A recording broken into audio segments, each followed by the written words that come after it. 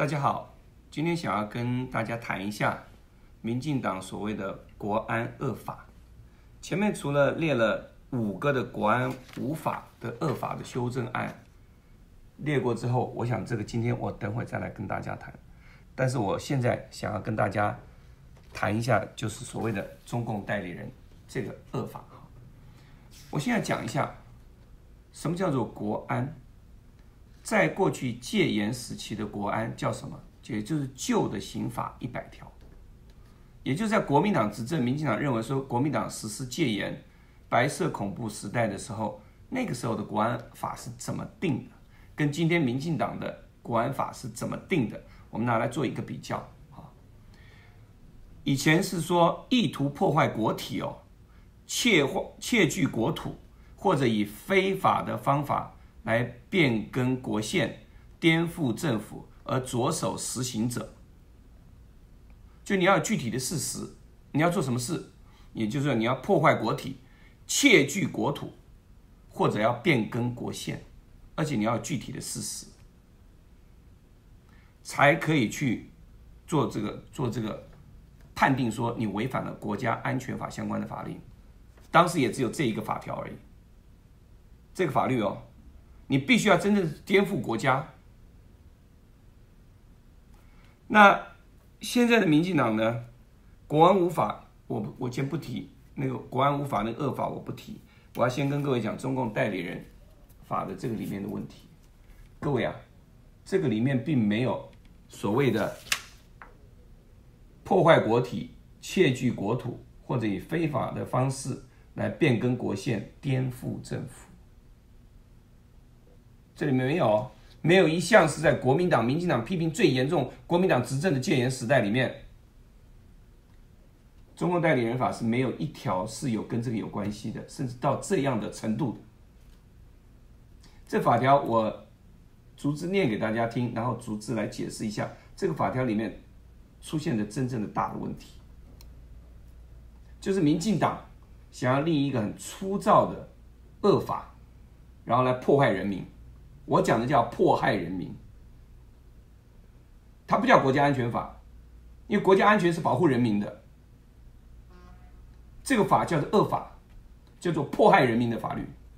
你看啊，台湾地区的人民哦，先跟各位讲，你们每一位都是，我们每一位都是，我们大家都是，这还不算哦，法人、你的公司、团体、你参加的协会都算哦，只要这些单位有事，你也有事。你都会有事，好，那他讲什么什么事情呢？不得与中国的党务机关，中国他不讲大陆，台湾地区对应的应该是大陆地区嘛？民讲怎么不写啊？这个法基本上就是违反宪法的，连称呼都错了啊！然后讲党务机关，什么叫党务机关？就大陆的共产党嘛。但大陆除了共产党，还有其他的政党哦，就是包括今天我们在我们今天在台湾。有民进党，有国民党，有亲民党，有时代力量，所有的党务机关，所有的党务机关都不可以哦，也就是所有的政党你都不可以跟他有发生下列的行为哈。他涉及对台政治工作影响国安的机关或者代理人，也就是说，党务的机关以外，还有一些是对台工作的机关也不可以。那是什么意思呢？那意思说，台办不可以。我们在大陆投资的台商，你的公司里面的党部也不可以。台商，你或许在大陆，你有你的党部，你公司大一定有党部，但是你不可以，直接就已经犯法了。好，然后影响国安的机关，这个很模糊，什么叫影响国安的机关？我不知道。因为一般来讲，我们过去认为影响到国安的机关，应该就是他的什么所谓的他们的情报局啦、他们的国安局啦，像类似像这样的单位，你很难去定义，你没办法去定义，啊，然后后面讲，从事危害国安的政治宣传，你怎么定义叫做危害国安的政治宣传？在过去国民党执政，你说戒严的时代，那你是要颠覆国家哎。你是要破坏我们国家的制度，颠覆国家呀，推翻政府哎，要具体的事实哎，那这是什么具体的事实？没有一项是具体的事实，我告诉各位，而且没有一项真正会影响到国家的安全。什么叫影响到国家安全？你怎么去解释？而且他讲的是什么？政治宣传。什么叫政治宣传？我讲他一句好话就是政治宣传了。或者两个比较一下，我说一下你民进党的坏话也是政治宣传哦。只要你能够绑在一起，就是政治宣传啊。然后你看，他都处的是三年以下有期徒刑、拘役或者并科五百万以下的罚金。各位看完看完修法的重点的第一点以后，我要请大家看第二个第二点，第二点才是了不起的地方，就是民进党，你简直就是绿色恐怖，你简直恐怖到极点，剥夺人权最重要的地方，我讲给大家听。他说：“主管机关不是法院哦，各位，不是司法检调单位哦，是主管机关哦，各位。大家记不记得管中敏的案子？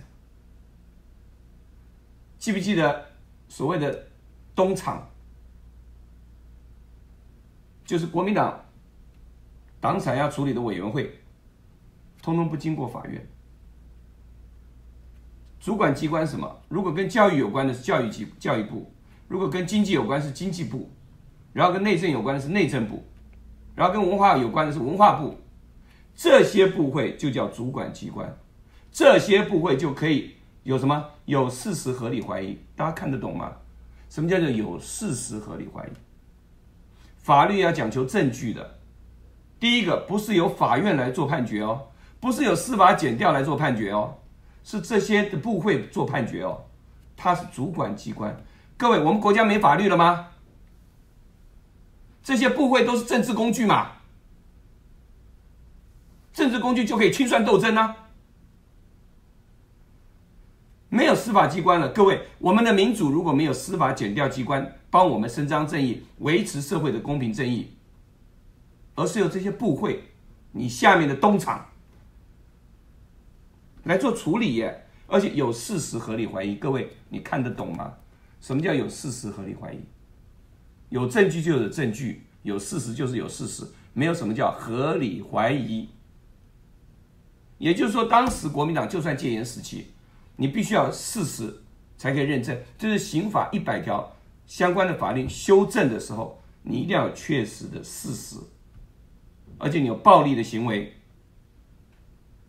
要确立的事实，而且你只有一个，你可以定他的罪，就是对于整个国家、国体、宪法这些地方有造成真正的国安的问题，而不是你现在随便讲的啊，什么叫政治宣传？这个不叫国安问题，对不起，不叫国安问题，因为这样的事情会让我们全中华民国的老百姓。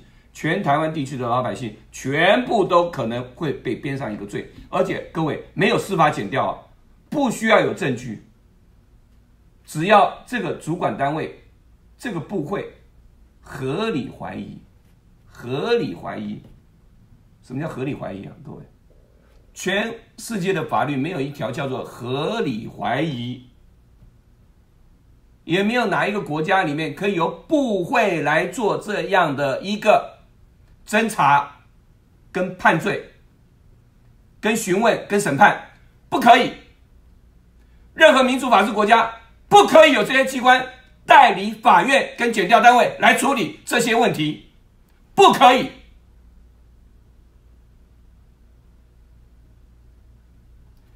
如果这样做，受询问问人未到场、无正当理由不答复或虚伪陈述或者拒绝者，当然可以拒绝啊。在法院，你都可以保持缄默权，你可以不回答任何问题，那是你的人权。这个法律不可以哦。你拒绝，或者你不答复，或者你拒绝者，哇，处十万以上五十万以下的罚元，并并得连续开罚。您已经违反了国家的宪法，违反了司法，违反了所有法律。这就是民进党立法委员跟民进党政府要干的事情，违反了所有的法律，侵害了人权，迫害了司法。没有这样的法律的各位，我们全国的同胞要醒过来了。民进党真的视法律于无物，迫害人权到极点。这是民进党提出来的法律，各位，你仔细看一下，我们每一个人都很倒霉。党务机关，大陆要不要拿我们的民进党其他的党也当做党务机关，也可以对大陆人民这样做？他们不会。美国人会不会？美国政府会不会？美国政府人民要不要跟大陆的这些机关打交道？美国人民一样啊，团体一样，所有的一样啊，但是他没有要颠覆他的国家。没有破坏他的国体，没有具体的颠覆的行为的时候，不会有罪的。而且本来每一个人都有言论的自由，就算你帮任何人讲话，你都有言论的自由。这是宪法赋予大家的言论自由，这个里面完全破坏了宪法的言论自由。各位知道言论自由是什么吗？言论自由就是你对不同的事情，你可以有不同的表达。但是民进党说，如果跟我民进党不一样，你就应该被判刑，你应该就被抓起来关。我在之前讲过，国安法最可怕的地方，也是不需要经过公开的审判，也是随时可以抓人，不要有任何证据，随时抓人，只要有合理的怀疑，就随时抓人。这是国安恶法最可怕的地方，而且判的刑都很重。七年以上有期徒刑，国安法里面修的是七年以上有期徒刑，五千万到一亿的罚款。中共代理人法更可怕，他不需要任何的证明，他不需要任何的证据，只要主管机关，包括教育部啦、内政部啦、外交部啦，甚至是什么陆委会啦、农委会啦，都可以，各位。他可以有司法审判权，他可以传讯你。我们司法检察单位都不见了，各位。所以从这里面所有的条文，你可以看到：第一个违宪，第二个违法之前的司法相关单位的母法，第三个侵害人权，第四个破坏迫害言论自由，第五个里面根本就是模糊的空间。所有的语词，所有的内容都是错误的，但是民进党预备在最短的时间之内把它推过。各位亲爱亲爱的同胞，亲爱的手足，亲爱的家人，亲爱的朋友，这个法能让他过吗？就跟前面的国安恶法一样，这个法更不能让他过。让他过了以后，我们不在全世界，我们不是一个拥有。人权的地方，更重要的是，我们所有的人都没有人权，而且会被民进党迫害，会被民进党迫害。随便用一个法条、一个文字，只要有事实合理怀疑，我更不是什么不知道是什么东西，各位不知道所谓的政治宣传，什么叫政治宣传？你讲一句他的好，就是政治宣传。所以我今天跟各位讲，民进党通过了一审，他们沾沾自喜。我必须要讲，民进党，你们现在所有的党员，你们是上心了，上心了，上去你的天良了，你违反了一个民主国家的民主精神，你成了迫害人权的刽子手。所有的民进党立法委员，你们都做错，你们都做错了。